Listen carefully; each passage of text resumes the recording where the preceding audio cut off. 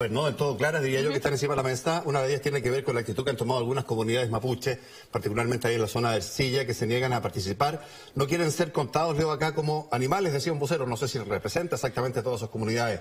¿Eso está resuelto o lo que pase el miércoles en Silla es todavía un hecho incierto? Bueno, mira, yo te cuento, nosotros siempre trabajamos con las comunidades, ¿ya? Comunidades, eh, puede ser de pueblos indígenas o comunidades de inmigrantes o la misma comunidad de cada comuna, porque realmente toda vez que invitamos a las personas de la comuna a inscribirse para censar la comuna, es el mejor ejemplo de eso. Las coordinaciones son varias y normalmente la invitación es que las mismas personas se capaciten y, puedan censar o ser supervisores, ¿ya? Incluso a nivel de facilitadores en la comunicación, hoy día estamos trabajando con haitianos, ¿ya?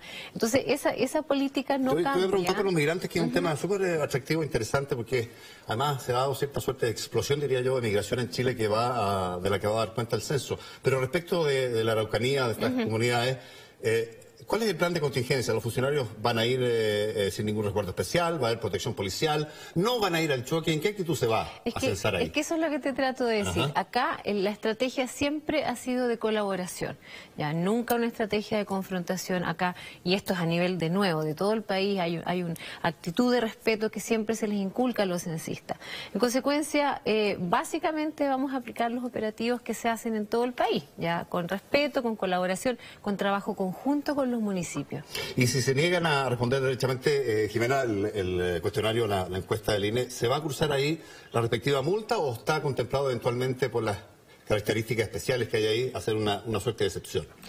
Mira, en cualquier vivienda del país que se nieguen a responder, lo primero que nosotros hacemos es escuchar por qué razones esto puede estar pasando, explicamos que la información se trata con completa confidencialidad y tratamos de discutir y conversar sobre la importancia de la información.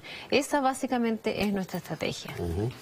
O sea, debiera hacer aplicarse la multa en este caso si es que se niegan a, mira, fíjate que nosotros no hablamos, nunca hemos hablado de multa. Esto pero, pero existe la ley, digamos. La atribución existe, efectivamente. Ah, pero se cursa de acuerdo a qué criterio. No, el INE tiene la atribución en su normativa de aplicar multas, ¿ya?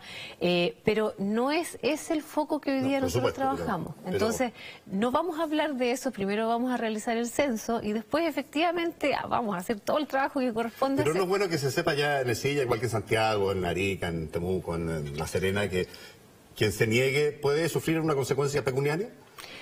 Mira, yo lo que te puedo decir es que la atribución existe, ya existe hace mucho tiempo, pero el tema es que las personas participen del censo. y vamos a conversar y tratar de convencerlos porque de verdad que, que sentimos y lo creemos así, que es de lo más importante.